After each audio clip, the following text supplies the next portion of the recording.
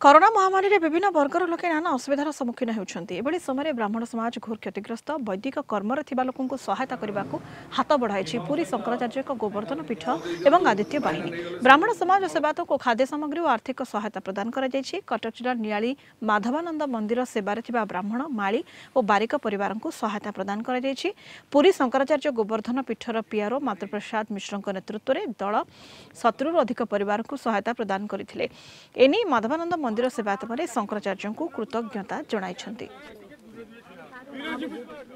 ଆମକୁ ଯାହା ଏଇ ମାଧବ ମନ୍ଦିରର ଯେ ମୁଖ୍ୟ ପୂଜକ ଆମକୁ ଯେଉଁ ତାଲିକା ଦେଇଥିଲେ ପ୍ରାୟତଃ ସତୁରି ଜଣ ସେବା ପୂଜା ସହିତ ଦୈନନ୍ଦିନ ସଂଶ୍ଳିଷ୍ଟ ଅଛନ୍ତି ଆମର ମାଧବାନନ୍ଦ ମହାପ୍ରଭୁଙ୍କ ମନ୍ଦିର ସହିତ। ତେଣୁ ଆମେ ସେତିକି ଖାଦ୍ୟ ସାମଗ୍ରୀ ଧରିକିରି ଆସିଛୁ।